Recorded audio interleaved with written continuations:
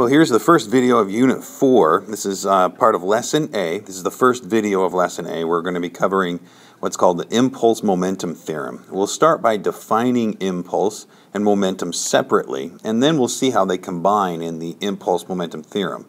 Our overall goal in this video is to be able to relate mass, velocity, and linear momentum for a single moving object. Now, so far, we've only considered forces of constant magnitude. When pushing a box across the floor, for example, we've considered the push to be a constant. Similarly, the pull of gravity on an object is a constant pull. But we know from our experiences that not all forces are constant. Oftentimes, forces change as they act on an object. Take a collision, for example, such as hitting a tennis ball or, or kicking a soccer ball. The force acting varies as it acts on the object. Also, the duration of the collision in these examples is very short, typically 1 to 10 milliseconds. A large force over a short time interval is called a, an impulsive force. Examples include hitting a baseball or the collisions that happen while playing pool. If we graph an impulsive force over time, we end up with a graph like this, where the force quickly reaches a peak and then drops. Even though we're looking for a short time interval, uh, we can see that an impulsive force is not constant. It changes while it acts. So if we were to graph the kick on a soccer ball, a harder kick will produce a taller graph, while a kick of longer duration will produce a wider graph. Now, a taller or wider force time graph has a larger area between the curve and the axis. So we can say that the effect of an impulsive force is proportional to the area under that force time curve. This area is called the impulse of the force. An impulse is given the symbol J. I know that, that totally makes sense that it would be given a symbol J, but that's, that's what it is. Now, impulsive forces can be sort of complex with the shape of the force time graph being complex as well. However, any graphs that we see will be simplified to be similar to this one here. Uh, from this graph, we can see that the area under the force time curve can be simply written as the average force times the time interval. And that's where we get our impulse equation, uh, which is equal, you know, impulse is equal to the force times the amount of time over which that force acts. And this, this force here is an average force. So impulse is a vector quantity that points in the direction of the average force vector. A positive impulse results from an average force acting in the positive direction, while a negative impulse is due to a force directed in the negative direction.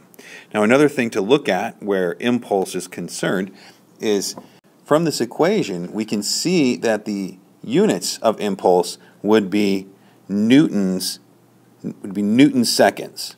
Okay, but since a newton itself is a compound unit called a kilogram meter per second squared, we can show that this unit of newton seconds can be simplified to kilogram meters per second. So that's the units we use for impulse, kilogram meters per second.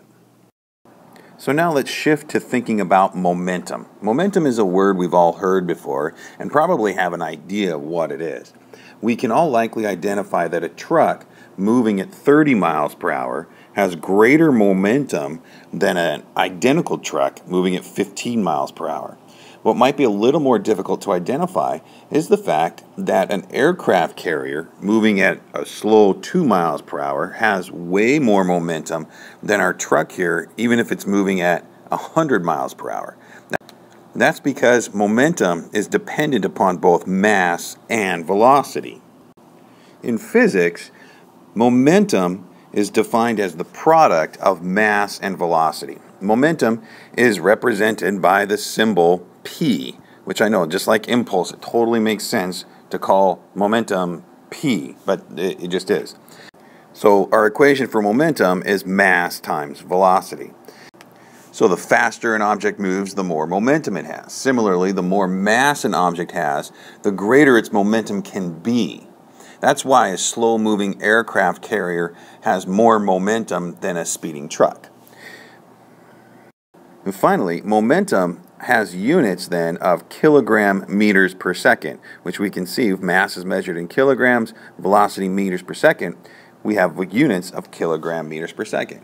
Same units as impulse. That should indicate that there's some sort of connection between impulse and momentum. And that connection we call the impulse momentum theorem, which we'll look at next. So by analyzing the equations for impulse and momentum, it should be clear that they're connected. Both equations show that the units for both impulse and momentum are kilogram meters per second. But the question is just how are they connected? Today, we use F equals ma as a quick way uh, to define Newton's second law. But Newton himself did not express it in that way. Instead, he said that a force was the rate of change of momentum over time. So instead of F equals ma, he said that the force is equal to the change in momentum divided by the time interval over which the force acts. So if we multiply both sides of this by uh, the time interval, we get a change in momentum that is equal to the force times the time interval. Uh, this quantity, ft, we recognize as impulse. So impulse is the applied force multiplied by the time over which it acts. This quantity is equal to the change in momentum of a system. So we can say that impulse is the change in momentum, and we call this the impulse momentum theorem. So then our equation for the impulse momentum theorem is this right here, where the impulse is equal to the change in momentum, which means we have a final momentum minus an initial momentum. The impulse momentum theorem then states that an impulse delivered to an object causes the object's momentum to change. So when you're putting a golf ball, for example, you deliver an impulse to the ball, changing its momentum. You can think of the putter as changing the ball's momentum by transferring momentum to it as an impulse. This way, we say that a putter delivers an impulse to the ball, and the ball receives an impulse from the putter. Now, with both impulse and momentum being vectors, we can see that uh, direction is important uh, when we consider the impulse momentum theorem. So the soccer player in this picture here is a little bit more complicated of a case. Because both impulse and momentum are vectors, we can rewrite that impulse momentum theorem in terms of the x and y components.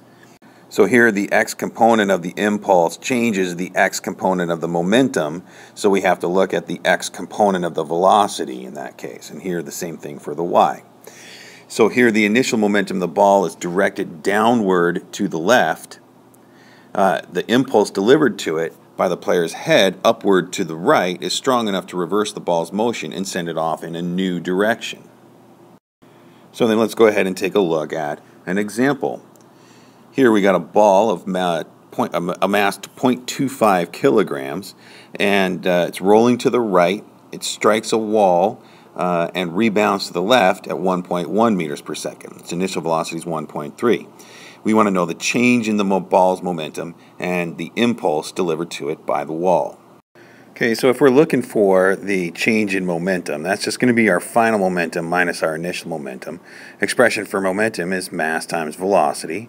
So we have mvf, that's for the final momentum, minus the initial momentum. We plug in our values, and we end up with a change in momentum of 0. Point, negative 0.6 kilogram meter per second.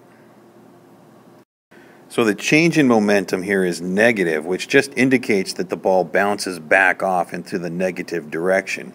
And by the impulse momentum theorem, since the impulse is equal to the change in momentum, my impulse is also a negative 0.6 kilogram meters per second. An interesting application of the impulse momentum theorem is to the question of how to slow down a fast moving object in the gentlest way possible. To answer this, we can look at two events, both involving a, say, a 1200 kilogram car. So say we've got this car that's traveling at about 75 miles an hour on the interstate. Now that's about 125 kilometers an hour, or roughly 35 meters per second.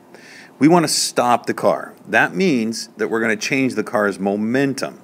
And that car's momentum, regardless of the way that we stop it, is going to change by 42,000 kilogram meter per second. Okay, so if we have a 1200 kilogram car, we're going to bring it to a stop so its velocity is zero.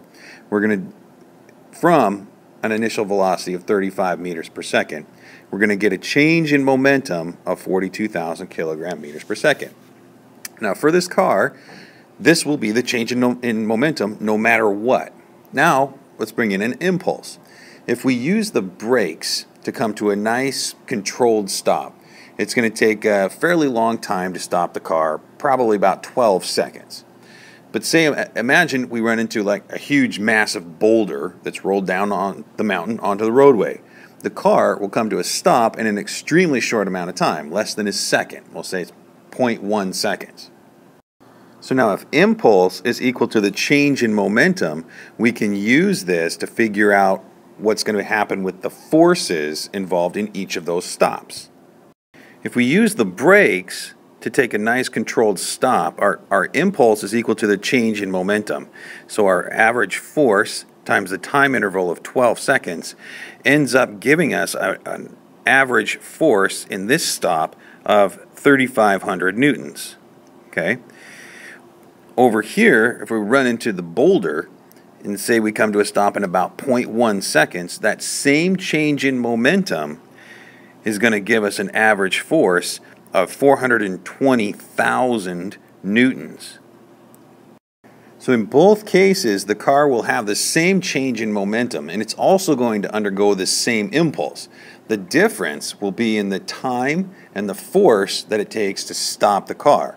Using the brakes, the force acting on the car will be really small. Using the boulder, the force that acts on the car will be enormous. It's because of the impulse momentum theorem that things like padded baseball gloves and car airbags work. They each increase the amount of collision time, thereby reducing the amount of force experienced. Okay, so that'll end the uh, impulse momentum uh, component of lesson A. Uh, in our next video, video two, we'll talk about conservation of momentum and collisions. There are several uh, book problems that will be specific to the impulse momentum theorem, and we'll take a look at those in class. See you then.